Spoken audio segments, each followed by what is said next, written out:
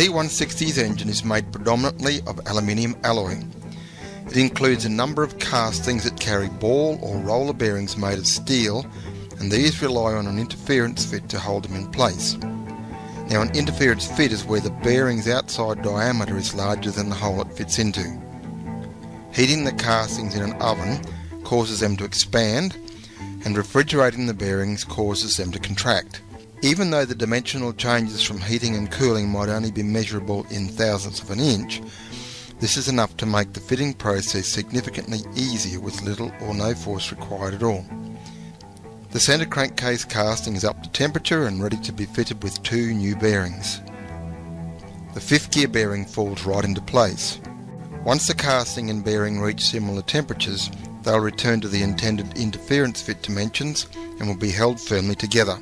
Since we want to fit a second bearing while the casting is hot, we'll temporarily attach the oil seal holder to keep the first bearing in place so we can turn the casting over.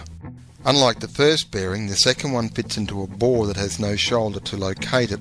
A special drift is used to insert it to the correct depth. This bearing requires a few gentle taps with a hammer and it's in place at the required position. Having a blanked end, this second bearing has now formed a plug to seal off the bore and stop oil escaping. With both bearings successfully fitted, we turn our attention to fitting the heavy-duty crankshaft ball bearing to the left-hand or drive side crankcase section. Once again, heating and cooling are used to ease the fitting process. The bearing requires only light taps to encourage it into place and a few taps with a pin punch ensure it is seated squarely against the locating circlip fitted previously. The second circlip is then fitted to ensure the bearing stays in its correct position. This bearing is instrumental in correctly locating the crankshaft laterally once assembled, and together these circlips make sure the bearing is located correctly. The right hand or timing side end of the crankshaft runs in a smaller roller bearing since there is a lot less load on the crankshaft at this end. Using a roller bearing allows sideways movement of the crankshaft as it varies in length with temperature changes. The bearing's outer race is also located by an inner and an outer circlip.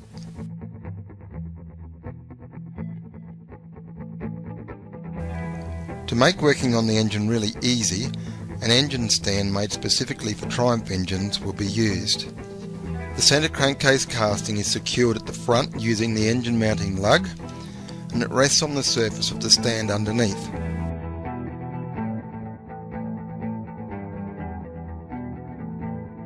The engine can be fixed in any one of three different convenient positions.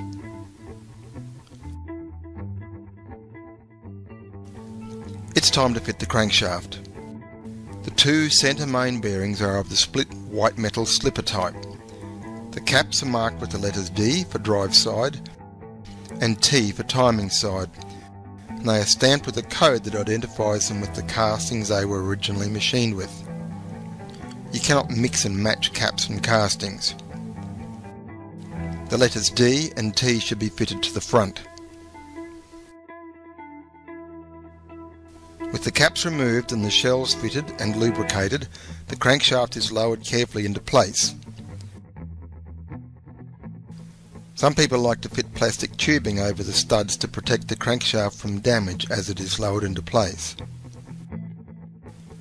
Bearing shells are located into the caps, lubricated and then fitted into their correct position, followed by the tab washers and nuts.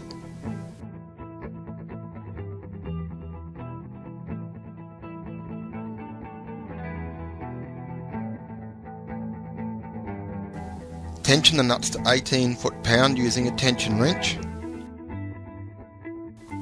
and double check each one.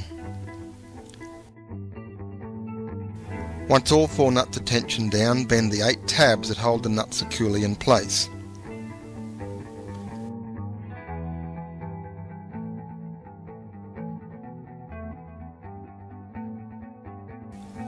Like the centre main bearings, the connecting rods also have split white metal shell type bearings.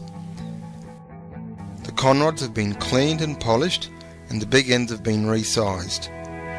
I'm fitting the two outer connecting rods to the crankshaft now and the centre one will be fitted to its corresponding piston and will be secured to the crankshaft after the barrels have been lowered into place. Make sure the two bearing shell locating tabs are adjacent as the cap is fitted. Fit the nuts and tighten them to the correct tension in stages, making sure to double check.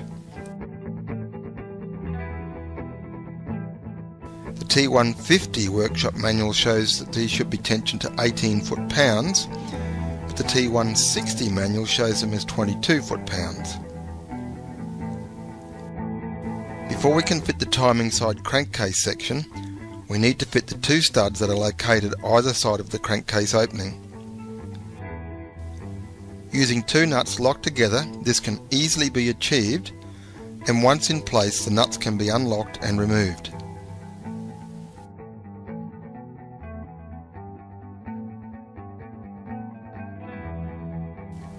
Two rings need to be fitted at either end of the oil filter gallery.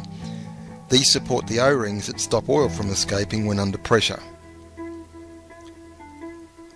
Timing side main bearing has been heated in an oven and is now ready to be fitted to the crankshaft.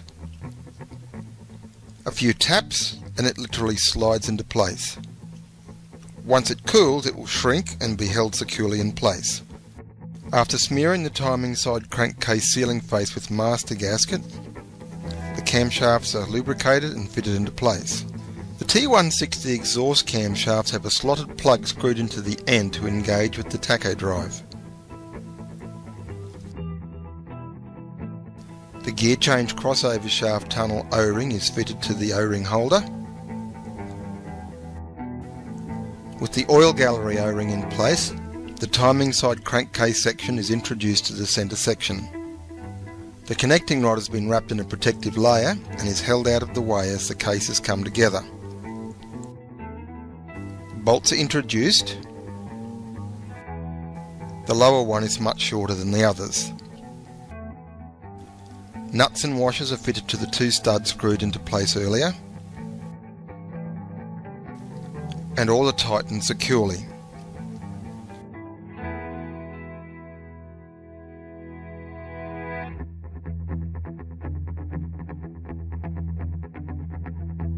Here is a trap to be aware of.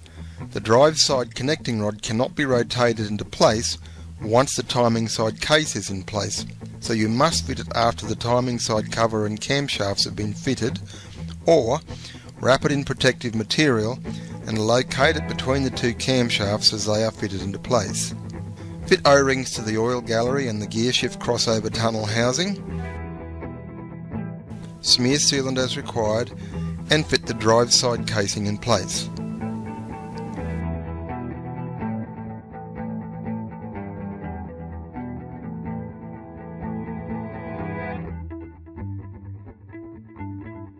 Introduce the bolts. The lower one is the shortest, and the two top ones either side of the opening are also shorter than the rest. Tighten all bolts securely.